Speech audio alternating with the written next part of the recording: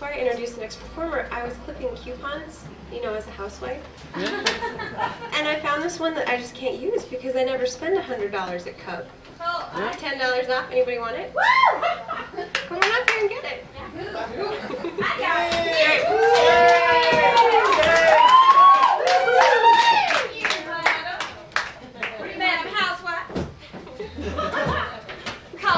Now I feel like a responsible woman. Passing up, you're welcome. He's a hip hop mystic, cryptic, critic, clever, cynic with a voice like rhythm and magic words you ain't ever heard. Let's pay attention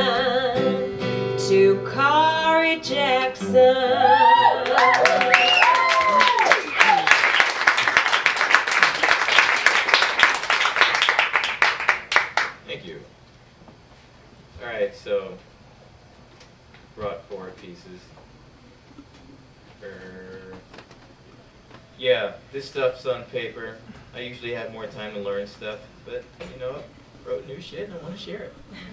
like today, there's one poem I wrote today, like an hour, a few hours ago. You're gonna hear it for the first time. Fresh. Yeah. All right. Yeah.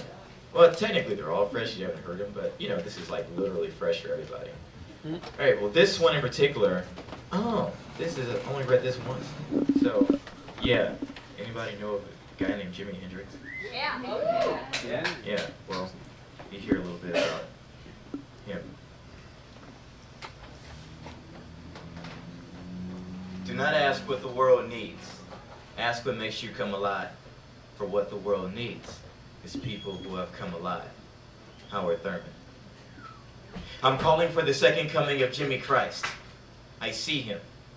He is standing on the tip of Neptune, pissed off that he left his wah-wah pedal on Uranus, still marveling at his new body. Sun-tinged plasma over asteroid bones and tongues of gamma rays. This is the Jimi lost between the myths and legends of a fucked up man who couldn't help hearing the sonic musings of God. A spaceman with brown skin, he knew he didn't live here.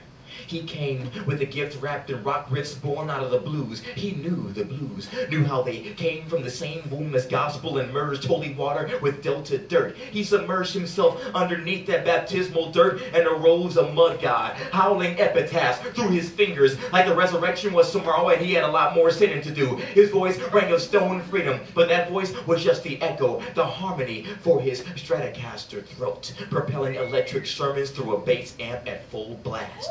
You look at him now as a guitar god. The cool cat who showed another way to be black, to be rock, to live in darkness, because it's easier to see the light there, and that's alright.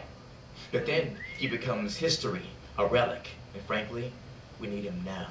So I'm calling for the second coming of Jimi Christ. But similar to the other second comings we're anticipating, it won't be Jimi rising from his grave. It'll be us rising from ours. It'll be neoconservatives discovering the liberation of living on the edge, loosening their ties, running barefoot through a storm, and feeling stone free to do how I please. Stone free to ride the breeze of stone drug hippies, known as more to rebellion than veganism and escape routes of hip hop artists spitting 16 bars of manic depression, setting fires of vulnerability so thick the smoke brings us to our knees. Of every soldier overseas, hearing his star-spangled banner and realizing their faith was robbed, their trust abused, their blood being shed for nothing, and I'll come back home banging on Uncle Sam's door and demanding some fucking answers because we can't lie down and take this. My people are still twisting in shackles and we forgot our spirituals, our lust for light, lost in static nine to five rituals. But Jimi told me a story yesterday about the sweet love between the moon and the deep blue sea. And he spread his wings high over me. And they got an image of a bold axis arising from our chests. I was flooded with images of truckers in Iowa walking with new funky swagger. A black boy in New Orleans going back to school to be a voodoo child, standing next to mountains of grief and chopping them down with the edge of his hand. Of America plugging its soul into the nearest amp and taking us to the electric church, singing so loud lightning blazes through the Mississippi River all the way to the Statue of Liberty. And that statue opens her eyes wide, takes her first breath, drops that book and morphs her torch into a guitar, wailing an eyes rolling back like Son House, hollering with the ecstasy and holy water and delta dirt, blasting chords that light the world till Jimi can't help but look, take his teeth off his fire-bathed guitar and drop tears of Jupiter as he whispered,